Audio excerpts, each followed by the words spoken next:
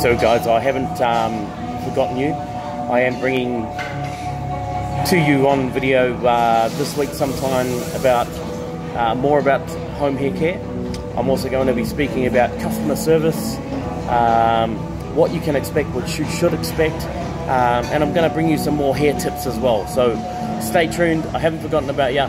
Up and coming, the very wide and very known uh, product called Olaplex which is on the market, which is there to protect your hair. I'll bring you more information about that when I get back to Sydney. At the moment, I'm enjoying myself up here on the sunny Gold Coast, uh, flying back tonight. So um, keep tuned. Hope you're having a great day. See you soon.